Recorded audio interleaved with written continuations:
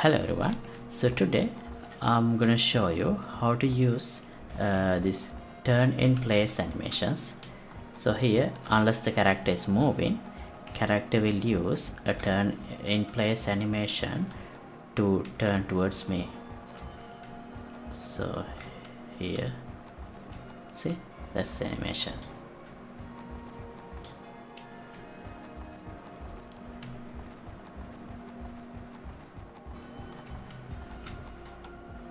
so yeah that's what we are going to work on today.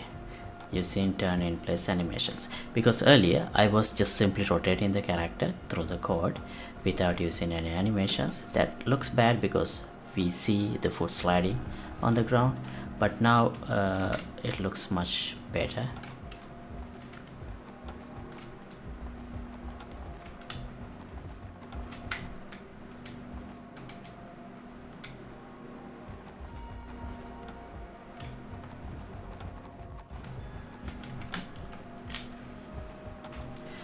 so let's see how to do that today. And before we get started, let me remind you that you can download the project files of this project and all other thousands of projects I have done from the Patreon page. I'll leave the link in description. And this is a part of this action RPG with gameplay ability system series. So feel free to check it out, all other episodes as well. I'll leave the full playlist link in the description and now let's see how to do the turn in place animations.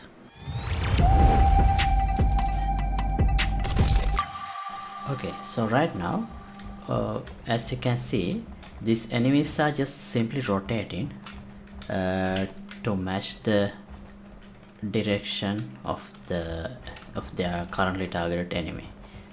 Like this see? So it's just simply rotating character without any animation. So what I want to do is uh, rotating the enemies or or my character also when I am focused on uh, enemy I need to turn in place with an animation. So right so how do we do that? Okay so first of all I'll open my base character and here in the event graph you see this focus on enemy function call in the tick. So this will be called when I have a lock target. And so here as you can see I simply set the uh, rotation through this RInterp so that I can smoothly rotate.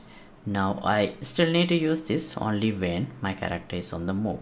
When the character is not moving instead of just directly setting the rotation I want to have an in place turn animation.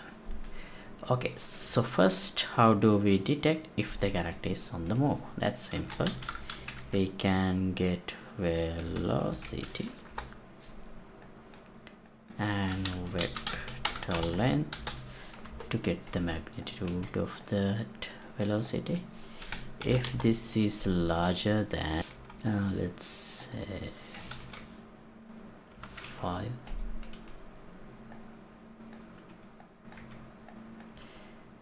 I need to use the direct rotation setting method. If not I want to play an animation to rotate the character in place.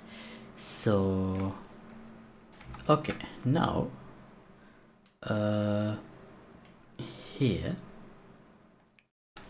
I can get the delta between the rotation and the look at rotation.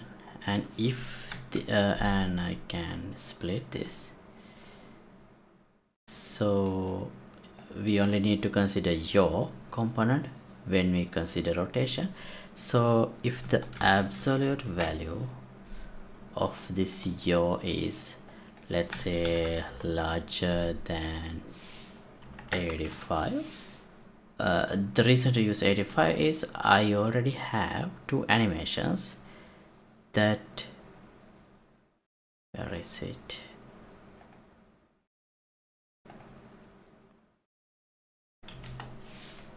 These two animations turn left 90 degrees and turn right 90 degrees. So I want to use these animations so that's why I'm checking 85 I maybe I if I check exactly 90 that might be a bit too much. So just close enough is enough. Uh, so if the difference of the current direction character looking at and the direction of the current target enemy is larger than 85 degrees then I should play a turn animation. So yeah that's what I'm planning to do here. Now here let's have a branch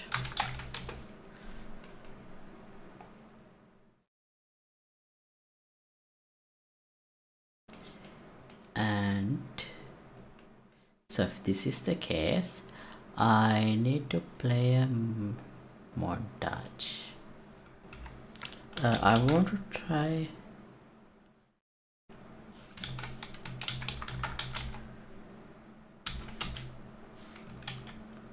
no. I want to try this one. This play montage node because here I can see when this is completed and when it is interrupted things like that. But I can't use this because this is a function and this has a delay. So a latent node. We can't use latent node in nodes inside functions. So I think I should convert this focus of an enemy to an event. Here convert function to event.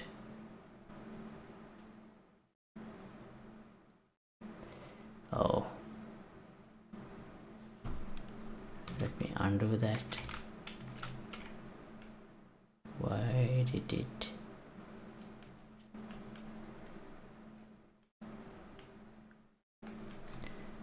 Does it work better if I'm here like in an empty area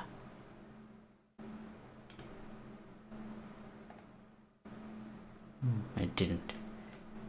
It's getting mixed up with other stuff. I think it's just this.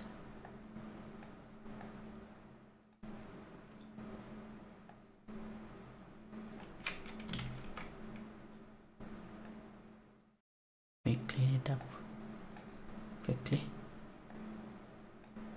Uh, let's collapse this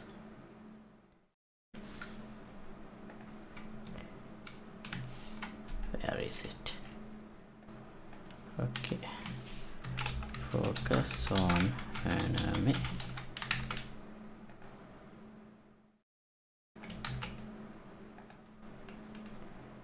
Right now let me put this back again. Alright.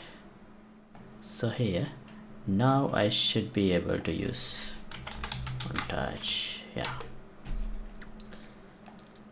so if this is the case that means either we need to turn left or right because here we are considering absolute value. Now if this is larger than zero let's select this montage to play based on this. So if this is larger than 0 that means it is a positive value that means in order to match directions my character would need to turn left. And if it is false turn right. So we should do this only once. And reset if after this is completed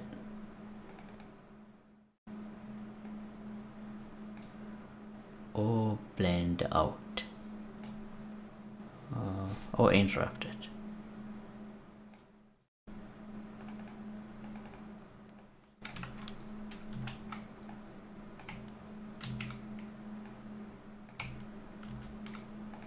Okay.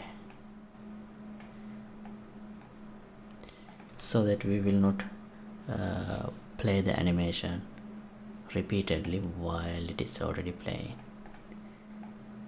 now the montages. So before I create the montage I need to enable root motion of this for this animation. So it will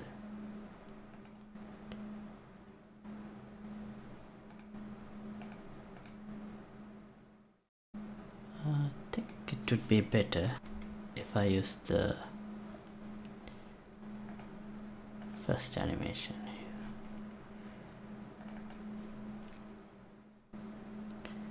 Similarly, I need to enable root motion. Outlook. Okay. Right now let's create montages.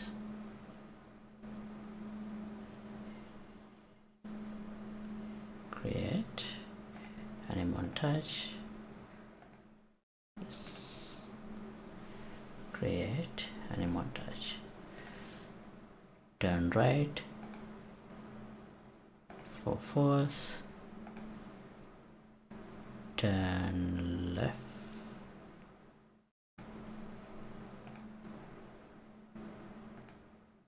For oh wait. For this. This should be right. Okay. And uh, please note that here I'm not thinking about having different types of weapons because I'm using the sword and shield animation but I do have a great sword as well so we may have to think about later on what happens if my character is wielding a great sword. But let's just make this work for sword and shield first. Okay yeah see. Now the enemy is turning with an animation.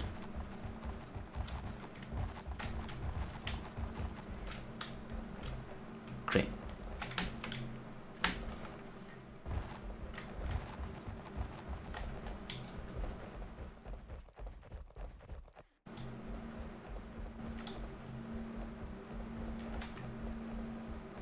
Did it rotate automatically.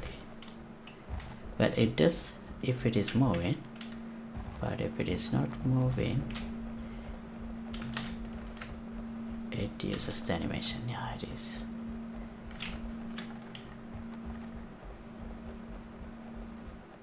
Yeah it is using the animation. Okay great. So and my character also should use the animation. But to test that the enemy should move to the side of me it doesn't look like it's going to do that.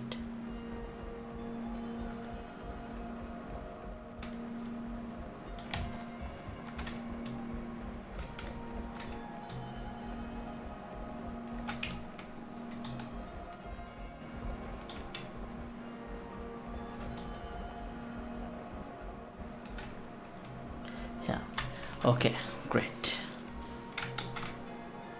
So thanks for watching as always updated project files will be available for download in the patreon page. Link would be in the description below. And um, don't forget to like and subscribe. Let me know if you have any questions. See in the comments below. See you in the next episode. Goodbye